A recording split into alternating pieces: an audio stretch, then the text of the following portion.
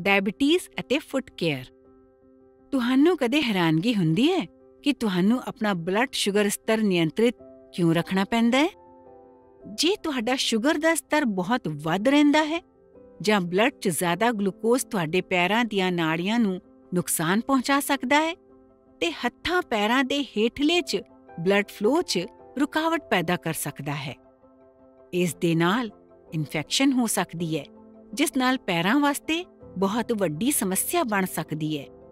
ਆਮ ਲੋਕਾਂ ਦੀ ਤੁਲਨਾ ਵਿੱਚ ਡਾਇਬੀਟੀਜ਼ ਵਾਲੇ ਲੋਕਾਂ 'ਚੋਂ 15 ਤੋਂ 40 ਵਾਰ ਇਹ ਹੁੰਦਾ ਹੈ ਕਿ ਉਹਨਾਂ ਦੇ ਹੇਠਲੇ ਅੰਗ ਕੱਟਣੇ ਪੈਂਦੇ ਨੇ। ਦੁਨੀਆ 'ਚ ਕਿਤੇ ਨਾ ਕਿਤੇ ਹਰ 30 ਸਕਿੰਟਾਂ 'ਚ ਡਾਇਬੀਟੀਜ਼ ਵਾਲਾ ਬੰਦਾ ਆਪਣੀ ਲੱਤ ਗਵਾ ਰਿਹਾ ਹੁੰਦਾ ਹੈ।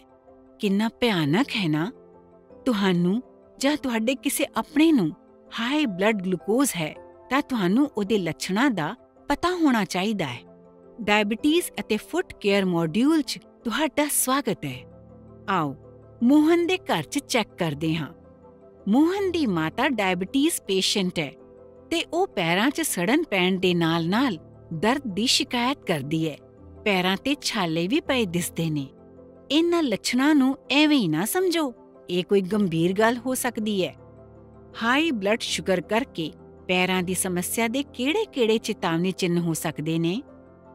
ਮਰੀਜ਼ ਦੇ ਪੈਰਾਂ 'ਚ ਜਲਨ, ਚੰਚਨਾਟ ਜਾਂ ਦਰਦ ਹੋ ਸਕਦਾ ਹੈ।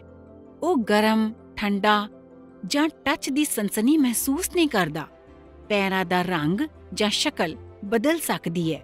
ਲੱਤਾਂ, ਪੈਰਾਂ ਤੇ ਅੰਗੂਠਿਆਂ ਦੇ ਵਾਲ ਜਾ ਸਕਦੇ ਨੇ। ਤੁਸੀਂ ਅੰਗੂਠਿਆਂ ਦੇ ਨੋਹਾਂ ਦੇ ਗਾੜੇ ਹੋਣ ਤੇ ਪੀਲਾ ਪੈਣ ਦੇ ਨਾਲ-ਨਾਲ ਲਾਲ ਨਿਸ਼ਾਨ ਛਾਲੇ, ਜ਼ਖਮ, ਫੋੜੇ, ਸੰਕਰਮਿਤ ਦਾਣੇ ਜਾਂ ਅੰਦਰ ਵੱਲ ਵਧਿਆ ਹੋਇਆ ਨੂੰ ਵੇਖ ਸਕਦੇ ਹੋ। ਆਪਣੇ ਪੈਰਾਂ ਨੂੰ ਜਾਣੋ। ਅੱਡੀ ਤੋਂ ਲੈ ਕੇ ਅੰਗੂਠੇ ਦੇ ਨੋਹ ਤੱਕ ਰੋਜ਼ ਪੈਰਾਂ ਦਾ ਮੁਆਇਨਾ ਕਰੋ ਅਤੇ ਖੁਸ਼ਕੀ, ਕਟਸ, ਜ਼ਖਮ ਤੇ ਕਾਲਸ ਵਰਗੀ ਅਸਧਾਰਨਤਾ ਦਾ ਇਲਾਜ ਕਰੋ।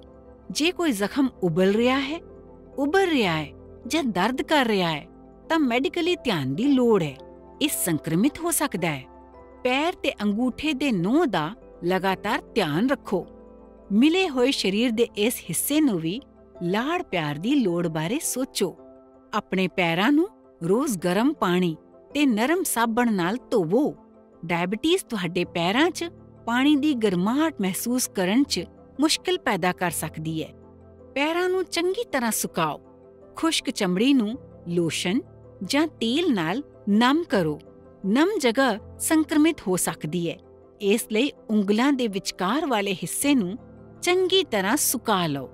ਅੰਗੂਠੇ ਦੇ ਨੋਹ ਦਾ ਖਿਆਲ ਰੱਖਣਾ ਵੀ ਉਨਾ ਹੀ ਮਹੱਤਵਪੂਰਨ ਹੈ। ਨਾਣ ਦੇ ਬਾਅਦ ਨੋਹ ਨਰਮ ਹੋ ਜਾਂਦੇ ਨੇ। ਤਦ ਉਹਨਾਂ ਨੂੰ ਕੱਟਣਾ ਚੰਗਾ ਹੁੰਦਾ ਹੈ। ਨੋਹ ਨੂੰ ਅੰਦਰ ਵੱਲ ਵਧਣ ਤੋਂ ਰੋਕਣ ਵਾਸਤੇ ਘੁਮਾਉਦਾਰ ਫੈਸ਼ਨ ਚ ਕੱਟਣ ਦੀ ਬਜਾਏ ਸਿੱਧਾ ਕੱਟਣਾ ਚੰਗਾ ਹੁੰਦਾ ਹੈ। ਧਿਆਨ ਰਹੇ ਕਿ ਨੋਹ ਨੂੰ ਬਿਲਕੁਲ ਛੋਟਾ ਤੇ ਕਿਨਾਰਿਆਂ ਤੱਕ ਨਹੀਂ ਕੱਟਣਾ। ਨੋਹਾਂ ਦੇ ਕੰਡਿਆਂ ਨੂੰ ਮੁਲਾਇਮ ਕਰਨ ਵਾਸਤੇ ਐਮਰੀ ਬੋਰਡ ਦਾ ਇਸਤੇਮਾਲ ਕਰੋ।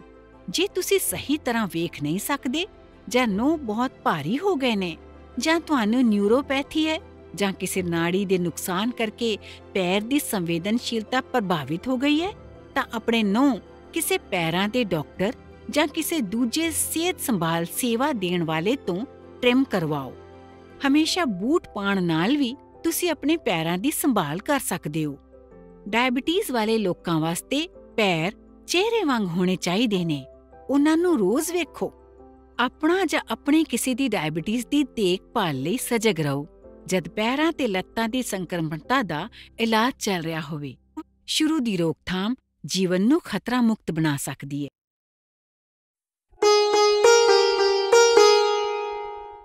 Beat diabetes win life USV ਵਾਲੀ ਆਮ ਜਨਤਾ ਨੂੰ ਜਾਗਰੂਕ ਕਰਨ ਵਾਸਤੇ ਕੀਤੀ ਗਈ ਪਹਿਲ।